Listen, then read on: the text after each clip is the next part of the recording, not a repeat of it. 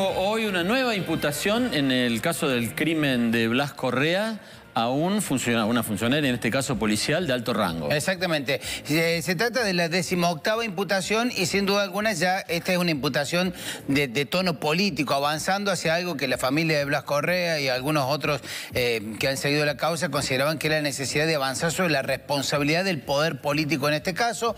Nueve meses después la justicia comienza a, a mirar hacia ese lado. La de Cumplido está como intermedia, la de Gonzalo Cumplido, el jefe del, del, de la zona eh, norte Capital Zona Norte, porque, bueno, si bien es cierto tenía un alto rango, no deja de ser un efectivo policial. En el caso de Ana Becerra, es la titular del Tribunal de Conducta Policial, un tribunal que supuestamente va a ser modificado en los próximos meses, pero que está en la mira desde el mismo momento, desde, desde aquel agosto del 2020 en que se produjo el caso. ¿Por qué? Bueno, lo vamos a repasar eh, eh, fundamentalmente a este capítulo. En el 2018... Lucas Gómez y otros tres policías fueron imputados por encubrir a un violador. El, caso era del año 2016, ya en el año 2017 se le había elaborado un sumario, pero en el 2018, cuando se le hace el juicio a este violador serial en la calera, eh, encuentran que el Gómez y otros tres policías habían tenido una conducta dudosa, fundamentalmente tratando de que esta persona no, no fuera condenado. Por lo tanto, en ese año fue separado de la fuerza.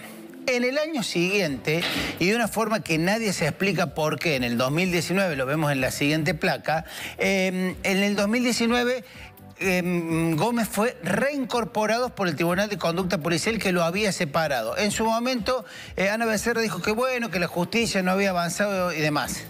Acá la duda que se planteó cuando después se dio el caso de, Blas Correa es si había habido algún tipo de gestión política, que aparentemente algún dirigente importante del departamento Colón levantó un teléfono y dijo, che, fíjate, reincorpóramelo a este muchacho y demás.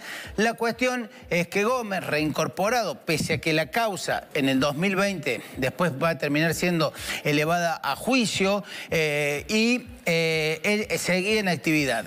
En agosto, es en aquella em, madrugada fatal, aquella medianoche fatal, es el que dispara y el disparo eh, impacta en la lunete y termina en el cuerpo y, a los pocos minutos pierde la vida Valentino Blas Correa.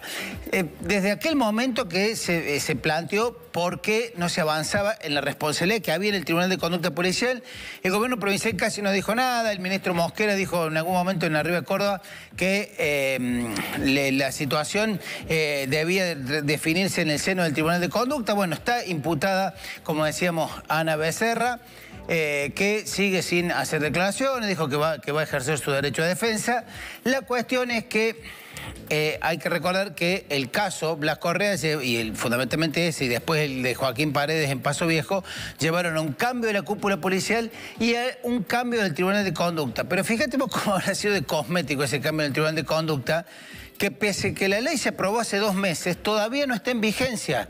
Y se dice que el Tribunal de Conducta recién, el nuevo Tribunal de Conducta, con la participación de la Universidad Nacional de Córdoba y demás, recién entraría en vigencia en julio o probablemente puede ser postergado.